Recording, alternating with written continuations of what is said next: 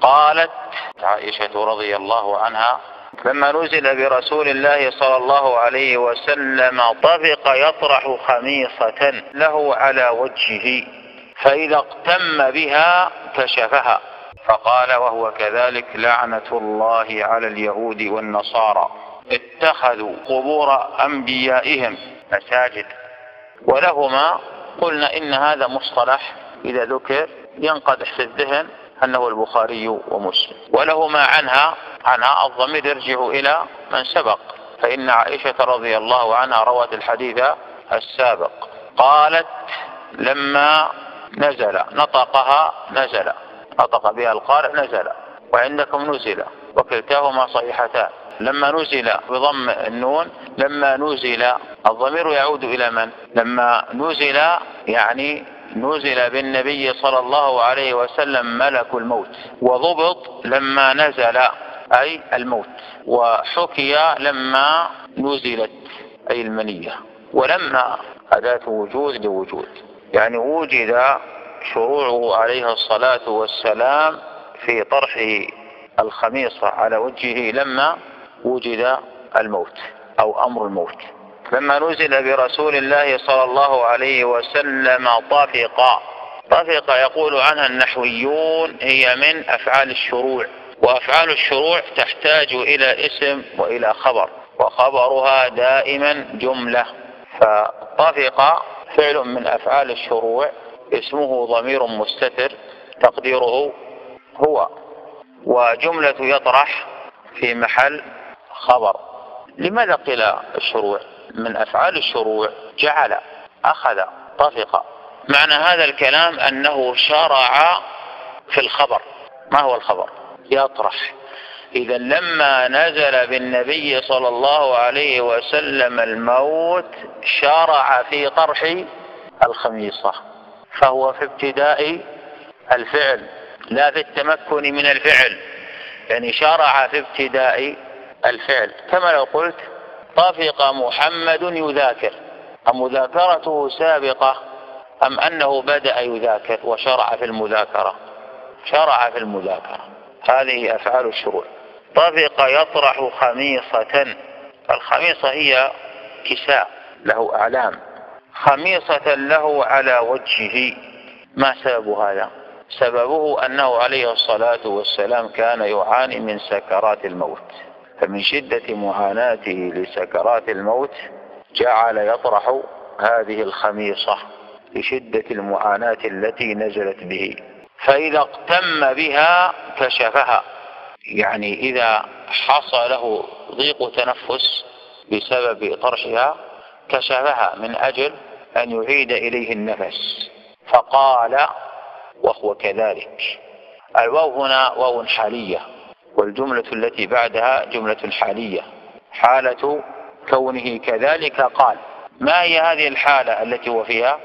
سكرات الموت. والجملة الحالية يشترط أن تكون خبرية غير طلبية وألا تصدر بالسين أي فيما يستقبل لأنها تناقض الحال. ولا بد أن يكون لها رابط إما الواو وإما الضمير. فهذه الجملة جملة حالية. ولو سئل لماذا نصت عائشة رضي الله عنها على هذه الحال؟ في قوله عليه الصلاة والسلام لعنة الله على اليهود والنصارى. الجواب عن هذا أن تنصيصها رضي الله عنها في مثل هذه الحال وهي حالة الاحتضار يدل على أن هذا الأمر المذكور من المحكم الذي لم ينسخ فمات عليه الصلاة والسلام وهذا الحكم باق. هكذا أفاده ابن حجر رحمه الله في الفتح. فقال وهو كذلك لعنة الله على اليهود والنصارى. اللعن هو الطرد والإبعاد عن رحمة الله. ومن قوله عليه الصلاة والسلام يدل على أنه يجوز لعن اليهود والنصارى على وجه العموم. أما على وجه التعيين والتخصيص فقد سبق ذكر هذه المسألة في حديث علي رضي الله عنه في باب ما جاء في الذبح لغير الله. وأفردنا المسألة بكلام طويل حول لعن المعين. وهذه الجملة إما أن تكون جملة خبرية يريد منها عليه الصلاة والسلام الإخبار عما في حكم الله عز وجل على هؤلاء اليهود والنصارى بأن الحكم عليهم هو اللعن. وإما أن تكون طلبية جاءت في صورة الخبر ويراد منها الدعاء منه عليه الصلاة والسلام على هؤلاء اليهود والنصارى باللعن. واليهود يرجعون إلى يهوذا وحذفت الذال واكتفي بالدال لكثرة الاستعمال وسموا بهذا الاسم لأنهم هادوا وتابوا. قال تعالى واكتب لنا في هذه الدنيا حسنة وفي الآخرة إنا هدنا إليك. وأما النصارى فإنه أي هذا اللفظ إما مشتق من النصرة وذلك لأن الحواريين من النصارى الذين نصروا عيسى عليه الصلاة والسلام. قال من أنصاري إلى الله؟ قال الحواريون نحن أنصار الله. وإما أن تكون نسبتهم إلى بلدة تسمى ناصرة. اتخذوا الفعل اتخذ من أفعال التصيير وهي تحتاج إلى مفعولين يعني صيروا ماذا؟ قبور أنبيائهم مساجد. وجملة اتخذوا جملة تعليلية للحكم السابق. ما هو الحكم السابق؟ اللعن. سببه اتخاذ هؤلاء قبور أنبيائهم مساجد.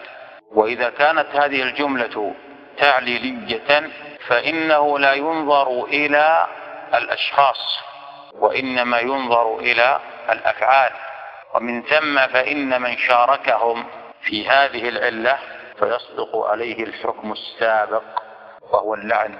فمن جاء بعدهم ممن خرج من هذه الملة عن سواء السبيل واتخذ قبر النبي صلى الله عليه وسلم أو قبر ولي أو صالح اتخذها مساجد فإنه يشاركهم في الحكم. وقوله اتخذوا قبور أنبيائهم جاء في رواية عند مسلم زيادة اتخذوا قبور أنبيائهم وصالحيهم مساجد. واتخاذ المساجد على القبور نوعان كما سبق إما أن يكون بناء حسيا أو معنويا. ثم قال تحذر ما صنعوا. يحذر هذا القول قول عائشة رضي الله عنها. يحذر ما صنعوا يعني الذي صنعه اليهود والنصارى. ولولا ذلك أبرز قبره. فإن كانت الرواية باللام لأبرز قبره. لكان هذا مثالا للنحويين على وجود اللام في جواب لولا. وذلك لأن الغالب في جواب لولا أن يكون باللام إذا كانت في سياق الإثبات. ويأتي من غير الغالب من غير اللام فيكون أيضا مثالا لغير الغالب في جواب لولا. ولولا حرف امتناع بوجود امتنع الجواب بوجود الشرط. أين الجواب؟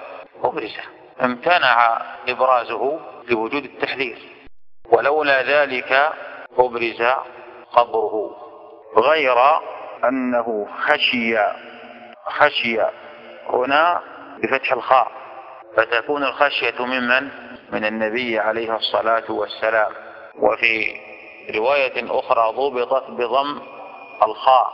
خشي فتكون الخشية واقعة من الصحابة رضي الله عنهم. وجاء عند البخاري أيضا رواية غير أني أخشى فتكون الخشية واقعة من عائشة رضي الله عنها. ولا ثمة تعارض بين هذه الروايات. لما؟ لوقوع الخشية من الجميع. وأما بالنسبة إلى الخشية الخاصة بعائشة رضي الله عنها فإنها لا تخالف ما خشيه الصحابة.